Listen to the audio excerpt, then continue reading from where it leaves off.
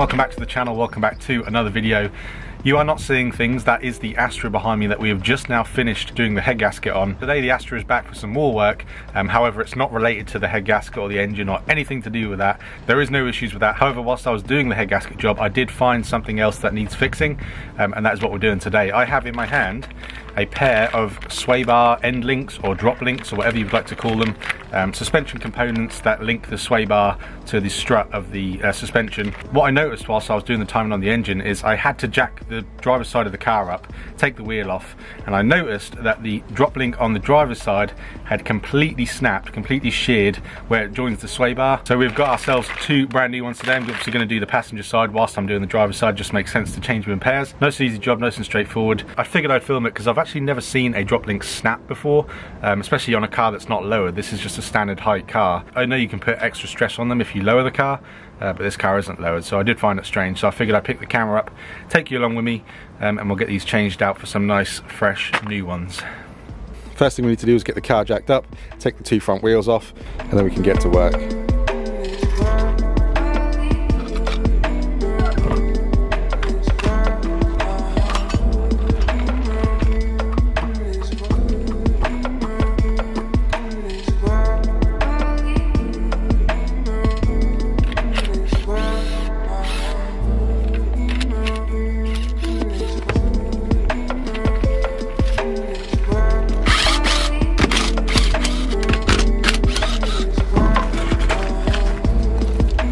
So wheels are off. We are safely jacked up on axle stands, as you can see under there. I'll show you the driver's side first, because this is the main reason we're doing the job today. I'll see if you can spot it straight away.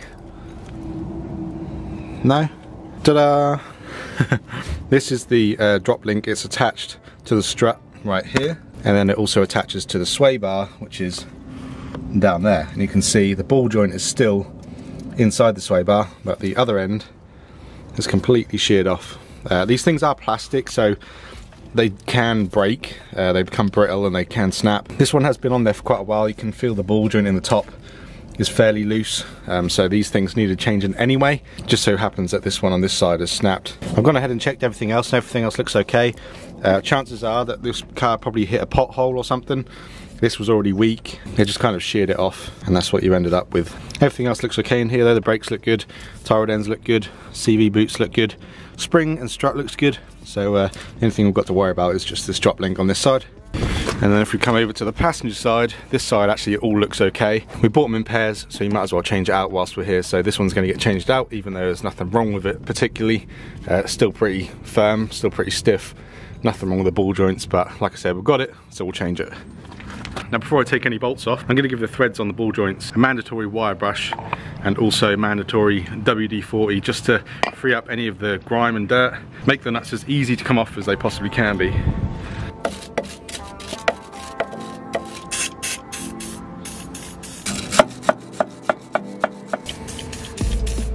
Now when it comes to removing drop links on your car, there's actually usually sort of two different orientations of ways that you are able to remove them. Luckily enough with the drop links that I'm using today, I've actually got both types so I can show you exactly what I mean by that. This is the brand new one that we're fitting today. As you can see on the ball joint where the bolt's gonna go, I don't know if you can see that, but there's actually flats machined into um, two sides of this. So that side and that side there's flats. That enables you to put a spanner on them to hold the ball joint still um, so that when you undo the nut, the ball joint doesn't just spin and spin and spin because if the threads are mangled up like they usually are, rusted and corroded and stuff like that, when you undo the nut it will hold onto the threads and the ball joint will just spin and spin and spin and spin and you'll never get the nut off. So in this instance you'd be able to fit a spanner on the back of that right where those flats are and then you can undo the nut without the ball joint spinning. So just as a demonstration this is sort of what I mean. Uh, this is how it'll be sitting on the car like that You'll have the sway bar or the strut in between there.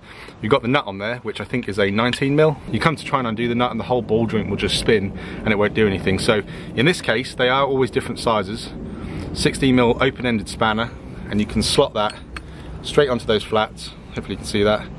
And that allows you to um, hold the ball joint still then you can put another spanner on the nut and just undo the nut. However, on the Astra that we're currently working on, we actually have a different setup.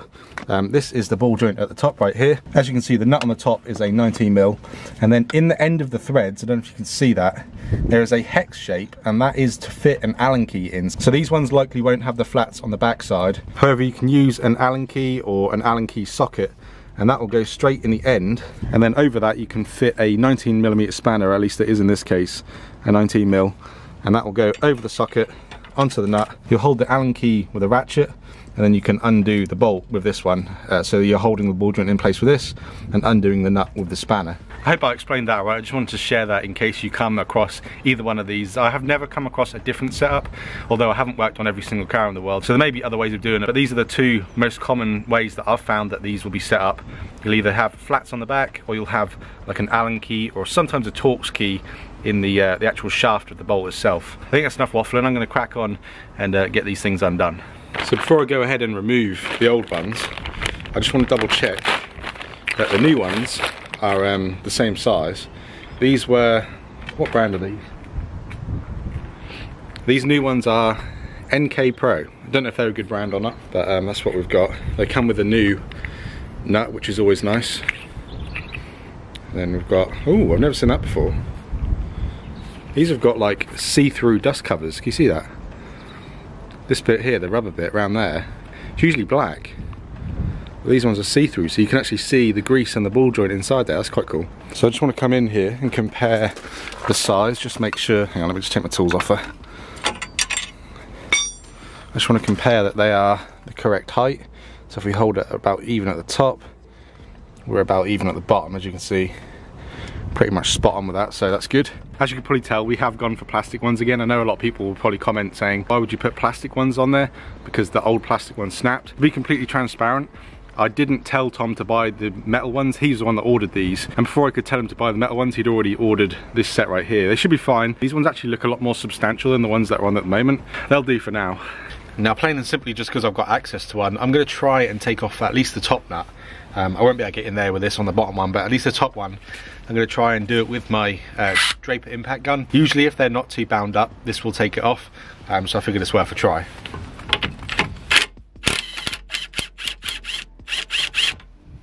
Nope. Right, old fashioned way it is.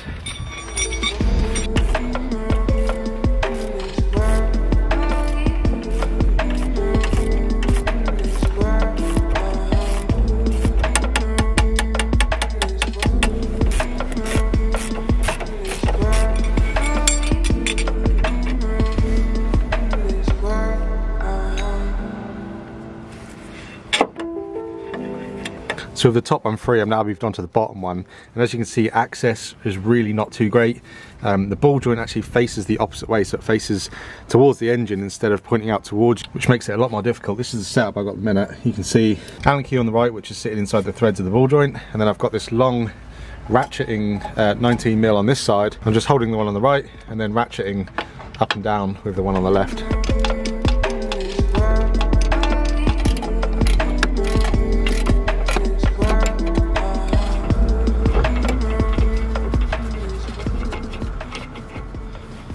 Ah, there we go. There's the prize. All right, there we go. It's the old one and the new one side by side. I just wanted to show you just one more time what I was talking about earlier with the two different types of drop links that you can get um, or the two different ways that you can take them off. You can see side by side, this one, the old one, doesn't have those flats, whereas this one does have the flats. And this one doesn't have, hang on, this one has got that hex in the end this one doesn't have a hex in the end, um, and they're the two different types. Now, the hex ones can round off. I don't know if you saw it in the footage, but the top one, um, the Allen key hole actually started to round off a little bit. Very common. When, when they rust, the Allen key bolt hole um, becomes soft and it corrodes away, and the Allen keys never really fit in there properly. You just have to be really careful when taking off that you don't damage it. Um, I damaged it a little bit, but it's not the end of the world. I managed to get it out. So do look out for that if you've got this type. I much prefer the flat type. Um, they just prove to be so much easier when installing and removing. Um, it's a much better design. So if you can, get yourself some with the flat. They'll be a lot easier to take off if you have to change them in the future. Um, you won't have to worry about messing around with these hex things. Garbage. I'm going to go ahead and do the other side. You ain't got to see me undo two more bolts. Um, and then I'll show you the damage to the other one because the other side is the one that's broken. So.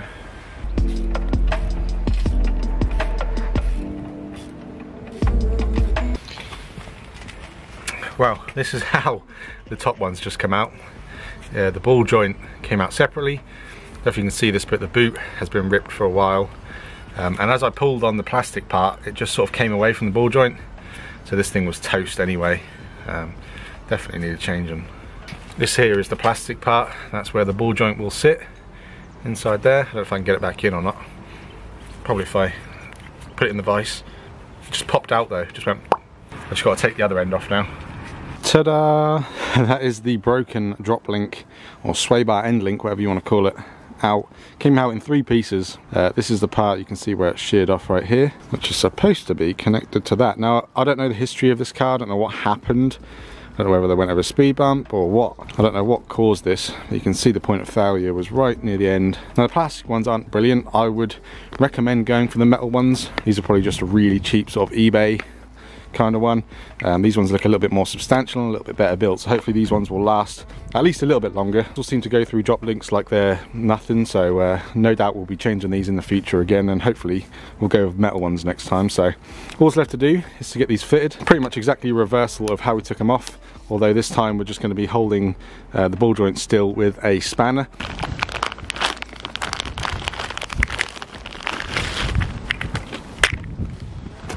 These things are a lot easier to install than they are to take off just because the threads are all nice and clean when you put them back on. Obviously take the little red caps off as well. Get rid of them, they're just protectors for the whilst it's in uh, storage and travel.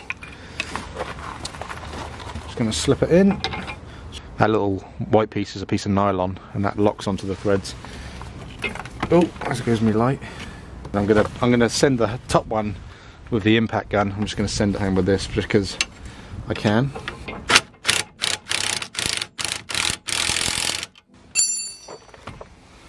I'll just double check it with a spanner as well just to make sure it is tight. Yeah, yep. The bottom one I'm going to do with a spanner like I did before so we'll just have two spanners like that and just do it up that way. Just checking that it's sturdy, feels good. No movement in the ball joints, no movement in the bolts. Wicked, happy with that. I've already done the driver's side one because access to this one's a little bit harder with the wall being here. So I thought I'd do this one first, get out the way. There's that one, all nice and tight, sturdy, no movement. Wicked.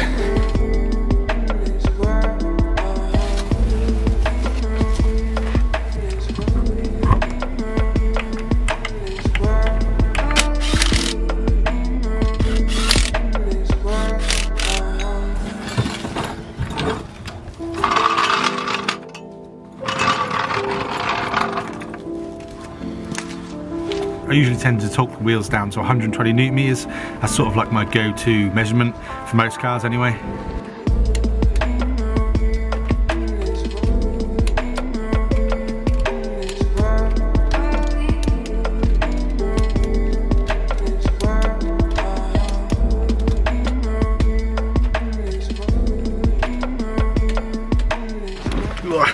Goodness me, it's just started to rain just as I was putting the uh, car back on the floor.